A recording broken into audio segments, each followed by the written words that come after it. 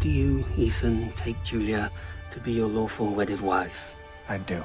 To have, to hold, to love, cherish, honor, and protect? I do. To shield from terrors known and unknown? To lie, to deceive, to live a double life?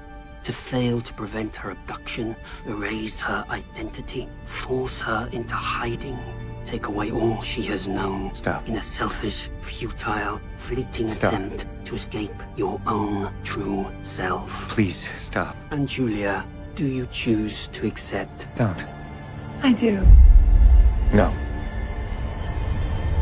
You should have killed me, Ethan.